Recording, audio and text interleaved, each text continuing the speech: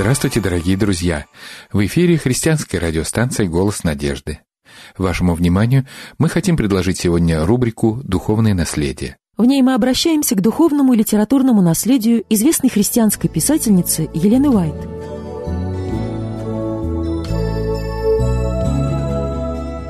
Елена Уайт «Желание веков»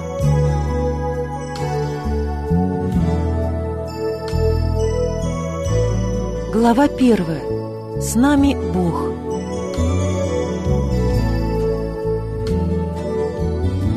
«И нарекут имя Ему Емануил, с нами Бог». Свет познания славы Божьей исходит от лица Иисуса Христа. От вечности Иисус Христос и Отец – суть одно.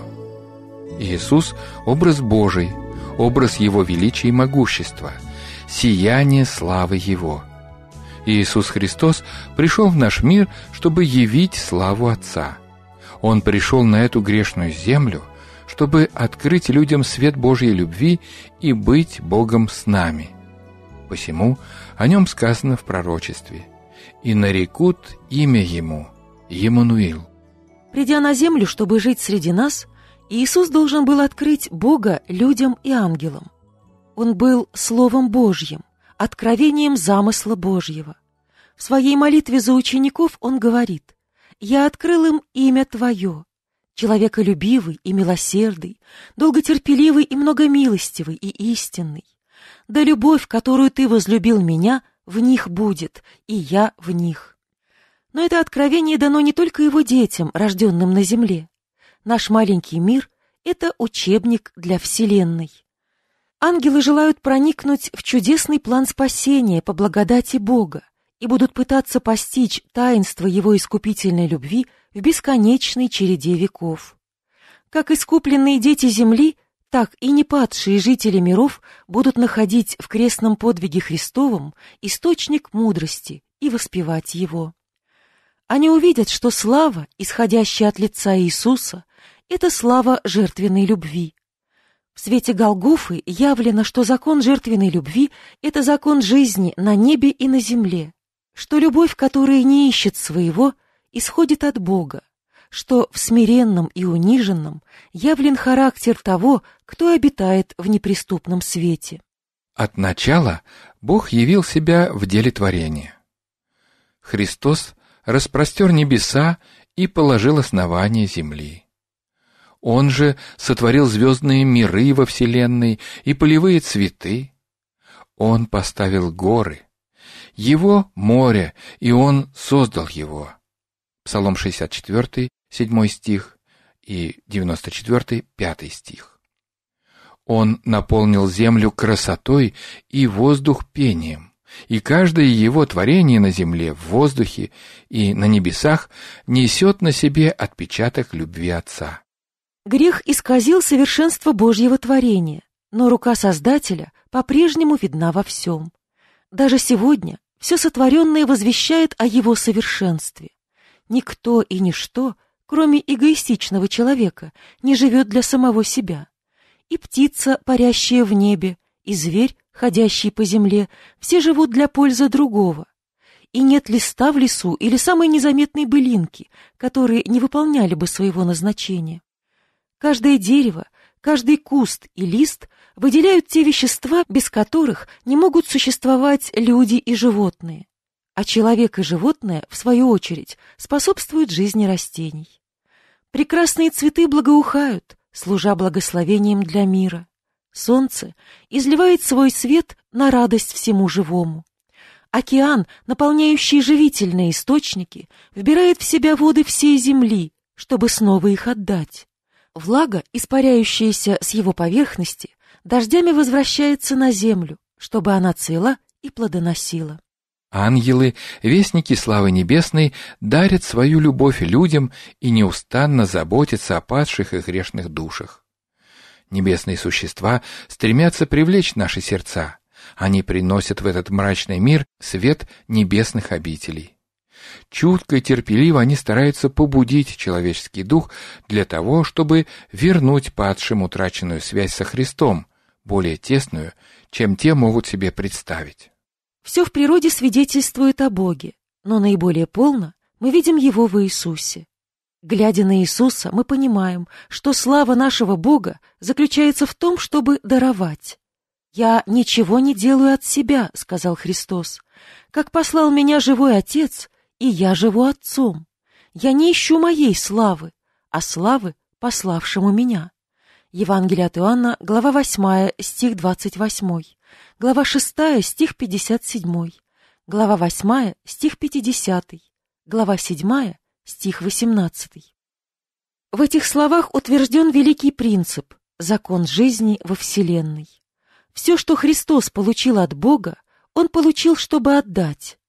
Этот же принцип действует и в Царстве Небесном, в Его служении всем Господом сотворенным существам. Через возлюбленного Сына Отец изливает на всех жизненную энергию, и через Сына она возвращается в потоках хвалы и радостного служения к великому источнику всего сущего. Таким образом, во Христе получает завершение круг благодеяний, раскрывающий сущность великого подателя жизни и закон жизни, действующий во Вселенной.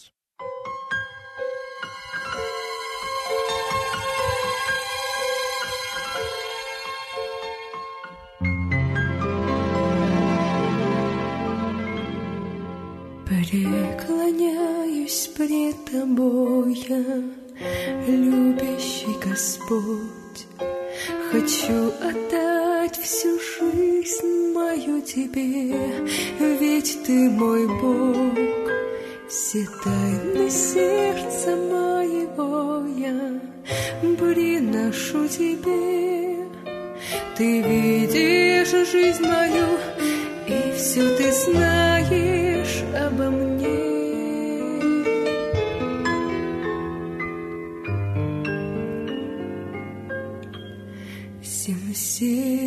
Сердцем я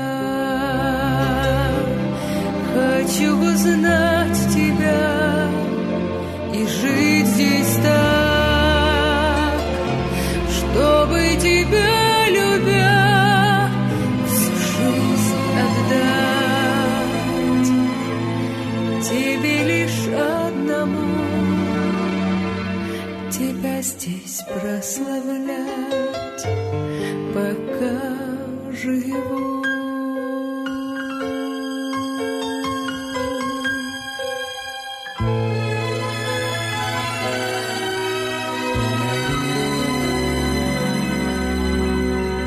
Что в этой жизни нужно мне, дается лишь тобой.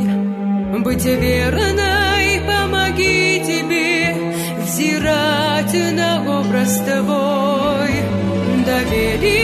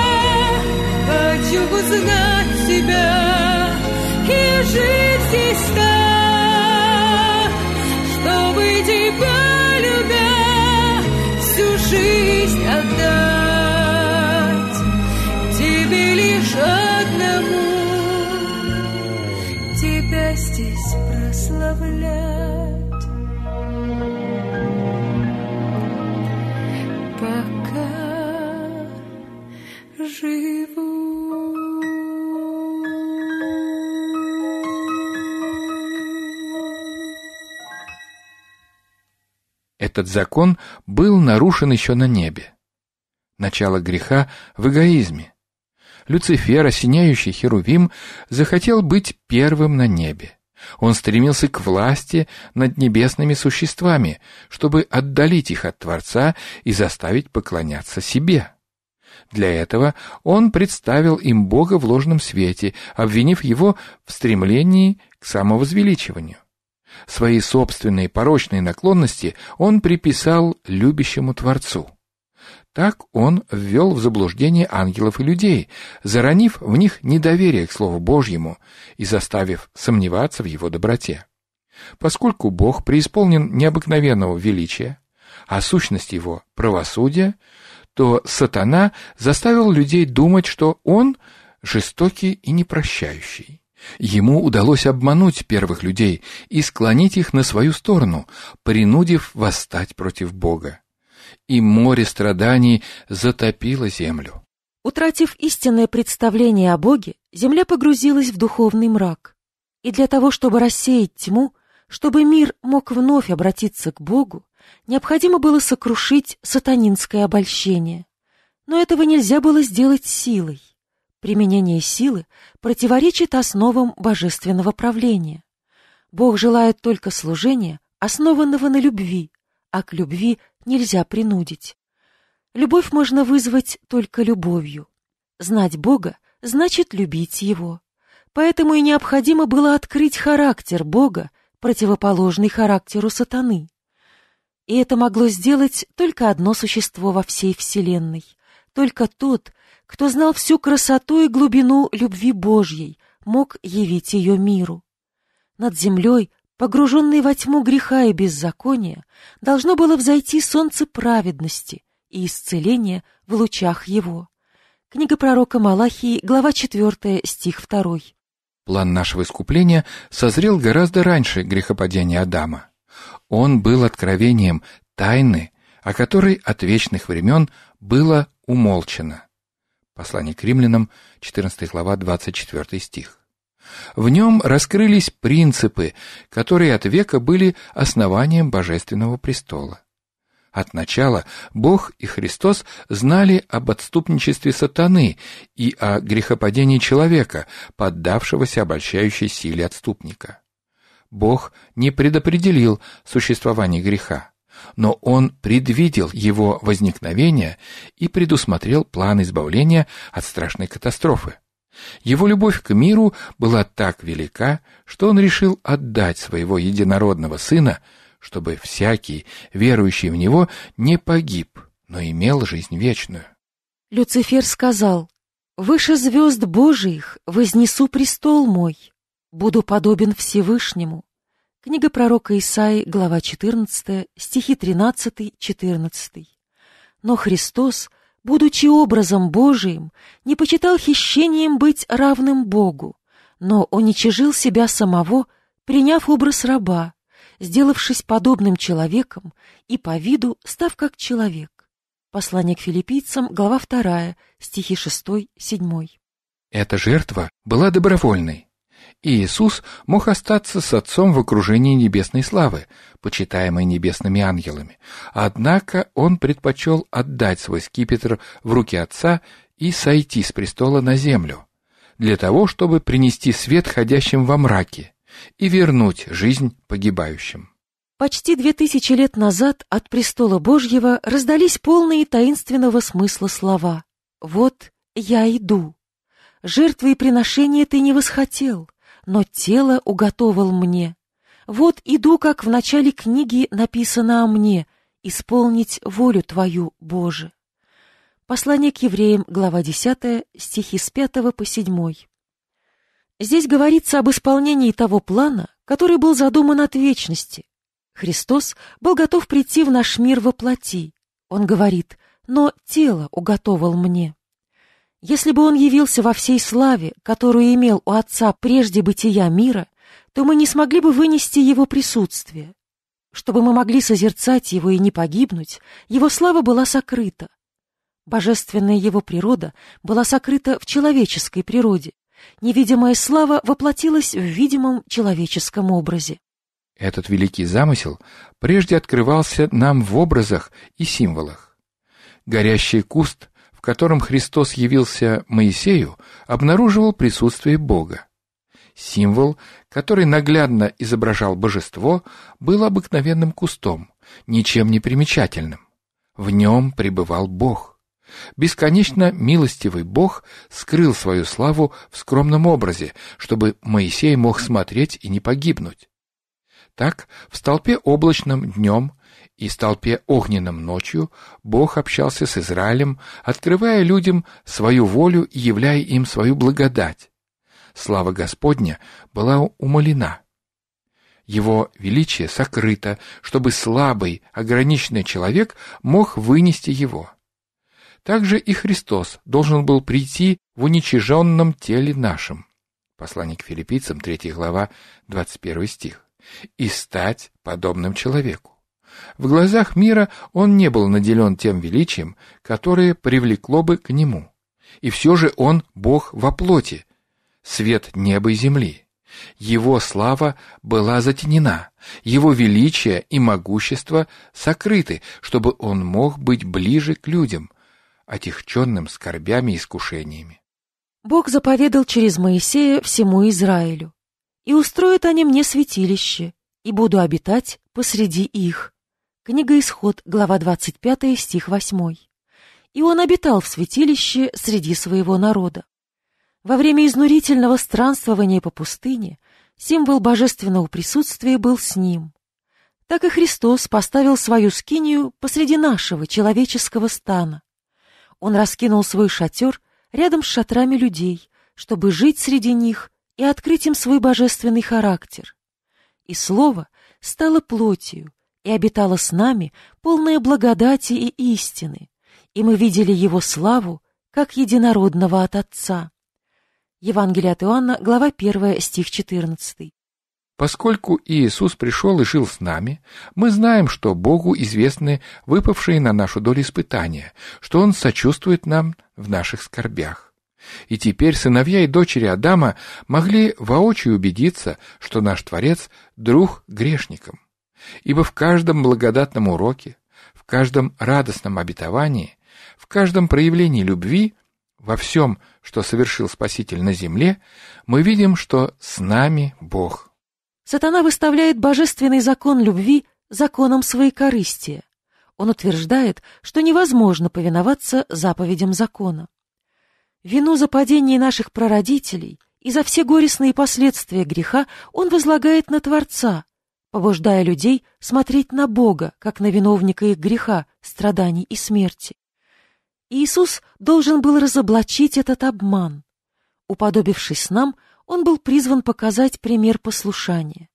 Для этого он принял человеческое естество и прошел через выпадающие на долю человека испытания. Он должен был во всем уподобиться братьям. Послание к евреям, глава 2, стих 17. Если бы нам пришлось переносить то, что не довелось испытать Иисусу, сатана мог бы утверждать, что Божья сила недостаточна для нас. Поэтому Иисус был, подобно нам, искушен во всем. Послание к евреям, глава 4, стих 15. И Он перенес все испытания, которые переносим мы, и не воспользовался ни единым своим преимуществом, ничем, что было бы недоступно и нам. Придя на землю человеком, Спаситель боролся с искушением и побеждал силой, данной ему Богом. Он говорит, «Я желаю исполнить волю Твою, Боже мой, и закон Твой у меня в сердце». Псалом 39, стих 9. Утешая приходящих к Нему, пораженных сатаной, Он открывал людям суть божественного закона и смысл своего служения. Вся его жизнь свидетельствует о том, что и мы способны повиноваться закону Божьему. Благодаря своей человеческой природе Иисус соединился с людьми. Благодаря своей божественной природе Он поддерживал связь с престолом Господа. Как Сын Человеческий, Он являлся для нас примером повиновения. Как Сын Божий, Он дает нам силу повиноваться. Именно Христос сказал Моисею из куста на горе Харив, «Я есть сущий, так скажи сынам Израилевым, сущий послал меня к вам». Книга Исход, 3 глава, 14 стих. Это было обетование о спасении Израиля. Поэтому, когда он явился в образе человеческом, он назвал себя сущим «Я есть». Вифлеемское дитя Кроткий и смиренный Спаситель и есть Бог, явившийся во плоти. Первое послание к Тимофею, 3 глава, 16 стих. Он говорит нам, «Я есть пастырь добрый». «Я хлеб живый, я есть путь, истина и жизнь. Дана мне всякая власть на небе и на земле». Евангелие от Иоанна, 10 глава, 11 стих, 6 глава, 51 стих, 14 глава, 6 стих. Евангелие от Матфея, 28 глава, 18 стих. «Я есть залог исполнения всех обетований. Я есть, не бойся. С нами Бог.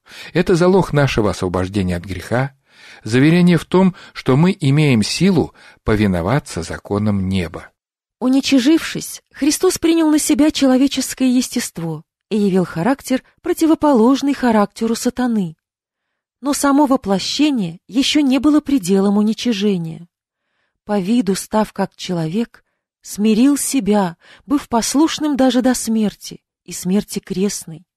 Послание к филиппийцам, глава 2, стих 8. Подобно тому, как первосвященник снимает пышные первосвященнические облачения и надевает белую льняную одежду рядового священника, так и Христос принял образ простого служителя и принес себя в жертву, будучи одновременно и священником, и жертвой. Он изъязвлен был за грехи наши и мучим за беззаконие наши. Наказание мира нашего было на нем. Книга пророка Исаи, глава 53, стих 5.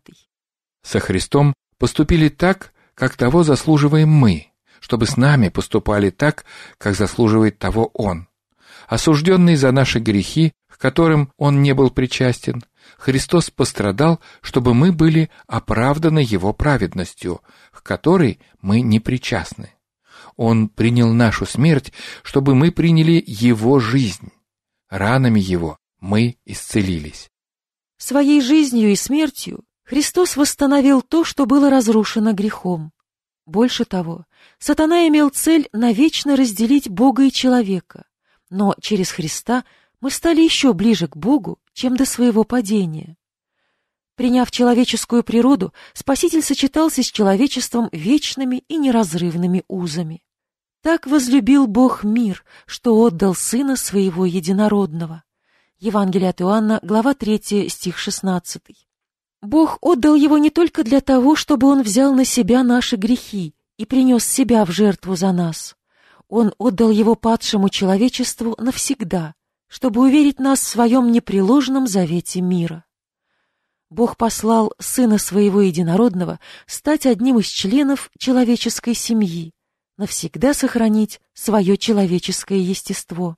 В этом залог того, что Бог исполнит свое слово. Ибо младенец родился нам, сын дан нам, владычество на раменах его. Бог в лице своего сына принял человеческую природу и вознес ее на небеса.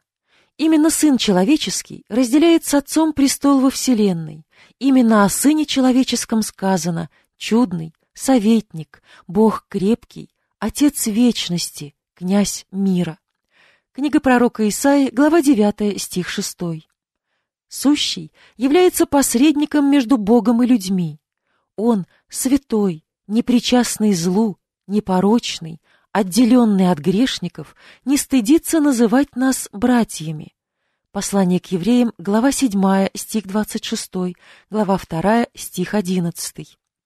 Во Христе земная и небесная семьи породнились. Прославленный Богом, Христос является нашим братом. Небо сокрыто в человечестве, а человечество, в свою очередь, заключено в недрах бесконечной любви. О своем народе Бог говорит, «Подобно камням в венце, они высияют на земле его». О, как велика благость его и какая красота его! Книга пророка Захария, 6 глава, 16-17 стихи возвышение искупленных будет вечным свидетельством Божьей милости. В грядущих веках Он явит преизобильное богатство благодати Своей в благости к нам во Христе Иисусе, дабы ныне соделалось известную через Церковь начальством и властям на небесах многоразличная премудрость Божия по предвечному определению, которое Он исполнил во Христе Иисусе, Господе нашим. Послание к Ефесянам, 2 глава, 7 стих, 3 глава, 10 и 11 стихи. Искупительное служение Христа оправдало правление Бога. Всемогущий явлен как Бог любви. Обвинения сатаны опровергнуты, и сущность его выявлена. Восстание никогда больше не повторится. Грех отныне никогда не нарушит гармонию Вселенной. В вечности все будут защищены от падения. Самоотверженная любовь Христа соединила жителей земли и небес с Творцом нерушимыми узами. Дело спасения было завершено. Где когда-то умножался грех, там стала преизобиловать Божья благодать. Земля, которую сатана пока еще считает своей вотчиной, будет не только отнята у него, но и возвеличена. Наш маленький мир, над которым тяготело проклятие греха, являлся единственным темным пятном в славном Божьем мироздании, получит особый статус среди прочих цивилизаций. Именно здесь, на нашей планете, где Сын Божий жил среди людей, где Он, Царь Славы, страдал и умер, именно здесь Господь, сотворив все заново, поставит свою скинию. Он будет обитать с ними, они будут Его народом, и сам Бог с ними будет Богом их. И бесконечно искупленные будут ходить в свете Божьем и славить Его за неизреченный дар. Емануил, с нами Бог.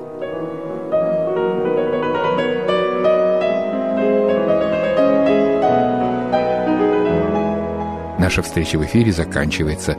Мы знакомили вас с духовным и литературным наследием известной христианской писательницы Елены Уайт. Для этого мы обращались к ее книге «Патриархи и пророки» и читали отрывки из нее.